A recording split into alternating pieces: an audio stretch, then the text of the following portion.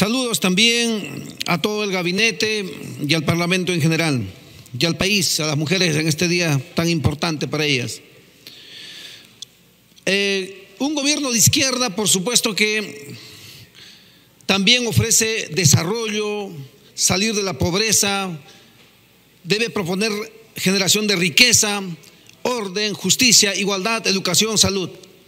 Por eso vamos a decir algunas cosas pues, sin apasionamiento, porque quizá el gabinete está aquí, porque en otro lugar no los podemos ver. Cuando el presidente dice que las puertas del palacio están abiertas, eso no es tan cierto. Algunos privilegiados acceden al palacio. Este es el gabinete formal que da la cara aquí, pero parece ser que hay un gabinete detrás también. Yo creo que sí lo hay. Entonces hay que deslindar las cosas aquí porque si bien con apasionamiento queremos decir las cosas, pero también venimos por algo concreto, porque somos voceros de las necesidades del pueblo.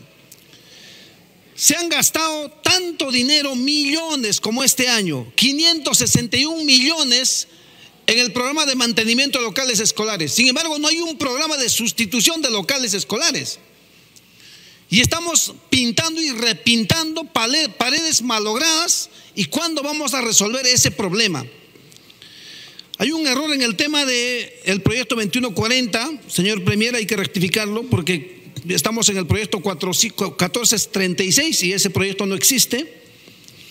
También en relación al Ministerio de Ciencia y Tecnología, desde el 25 de enero ya han pasado tres semanas, los estamos esperando, el Congreso los está esperando.